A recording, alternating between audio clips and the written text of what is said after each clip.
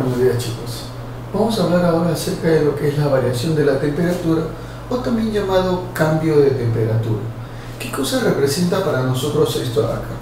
Bueno, nosotros sabemos que la temperatura del cuerpo suele variar siempre y cuando el cuerpo sea afectado por una cierta cantidad de calor, ¿no? Claro que sí. Entonces este cuerpo podrá aumentar su temperatura o podrá disminuirla.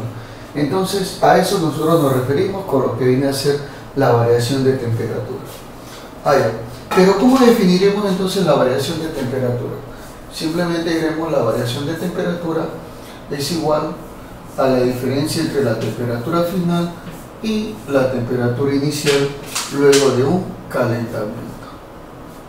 O sea, luego de una variación del calor, en otras palabras.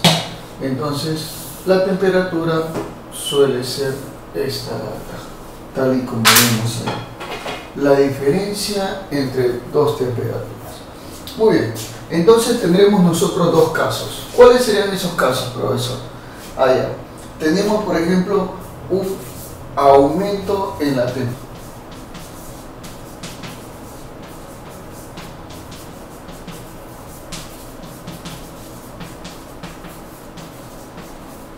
un aumento de la temperatura. A esto acá se le conocerá como el calentamiento. Entonces, el aumento de la temperatura sucede porque la temperatura final es mayor que la temperatura inicial. Eso hace que la variación de la temperatura o cambio de temperatura sea mayor que cero debido a ello. ¿no? Es un proceso con el cual estamos viendo. Otro de los casos sería la disminución. Disminución en la temperatura.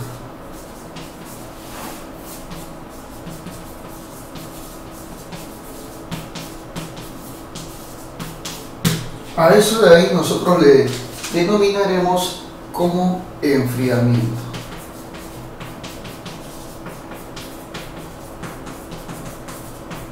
enfriamiento, donde lógicamente la temperatura final sea que la temperatura inicial, tal y como estás observando ahí. Muy bien, entonces esos simplemente son los cambios referentes que nosotros estamos viendo para realizar cualquier tipo de problema.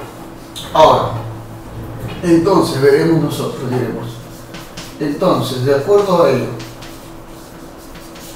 Sabemos nosotros que existe una ecuación de relación entre los cambios de temperatura. O sea, la ecuación que te convierte una temperatura a otra, tal y como la puedes ver acá, ¿sí? es la que hemos estado trabajando desde hace rato. La ecuación de las conversiones de temperatura.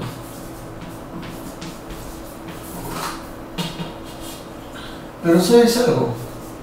como lo que está arriba, lo que está arriba acá, por ejemplo, esto, esto, esto y esto, ¿sabes qué? Expresa un cambio en la temperatura. ¿Cómo es eso, profe? O sea, cambio de temperatura en grados Celsius sobre 5 es cambio de la temperatura en grados Fahrenheit sobre 9 cambio de la temperatura en Kelvin sobre 5 y es igual al cambio de la temperatura en Rankine sobre 9. Ah, ya, o sea que la diferencia de cada uno de ellos, tal y como te expresaban ahí arriba, simplemente van a ser cambios de temperatura, porque son diferencias entre dos temperaturas, una inicial y otra final, por si acaso. Perfecto. Entonces ya vimos cuál es nuestra relación entre ambos. Y como a ti te gusta analizar, porque a ti te gusta bastante el análisis, ya me doy cuenta hace tiempo, te darás cuenta que, mira, tanto la variación en Celsius como el Kelvin tienen el mismo denominador. ¿Eso qué quiere decir, profe, profe, profe? Eso quiere decir que la variación en Celsius es igual a la variación en Kelvin. Claro que sí. Profe, mira, esta acá sobre 9 y esta acá sobre 9. Claro, también son igualitas, qué bonito, mira. Te diste cuenta rapidito, ¿cierto? Ah, ya, o sea que Celsius y Kelvin siempre presentan la misma variación así como Fahrenheit y Ranking darán la misma variación, tal y como te estás dando cuenta, ¿no? ¿Qué tal? Estuvo recontra sencillo, ¿sí? Eso es lo que vamos a ver entonces en este momento. Por si acaso, para los problemas. Que nos dice lo siguiente. Un cuerpo posee una temperatura de 40 grados Celsius. Muy bien. Si sufre un calentamiento de 45 grados Fahrenheit, calcular su temperatura final. Muy bien. Vamos a calcular entonces la temperatura final del cuerpo, luego obviamente de sufrir un calentamiento, tal y como te dicen ahí, ¿no? A ver, veamos nosotros que la temperatura inicial del cuerpo dice que vale cuánto? Vale 40 grados Celsius según el problema, ¿no? Temperatura inicial 40 grados. Te está pidiendo calcular la temperatura final.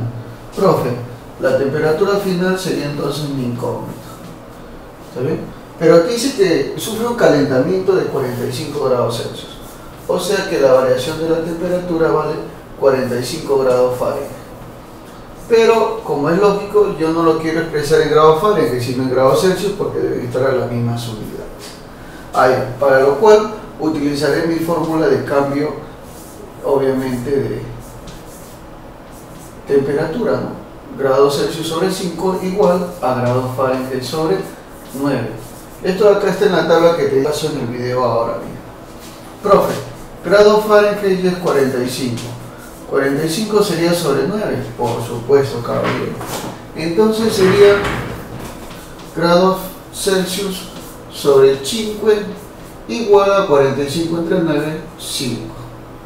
Pasa a multiplicar, entonces diremos nosotros grados Celsius es igual a 5 por 5, 25 grados Celsius. Ah, ya. O sea, quiere decir en otras palabras que este cuerpo ha cambiado en 25 grados Celsius. Perfecto. Perfecto, muy bien. Entonces diremos, por lo tanto, ¿no? Por lo tanto, se sabe que la variación de temperatura es la temperatura final menos la temperatura inicial.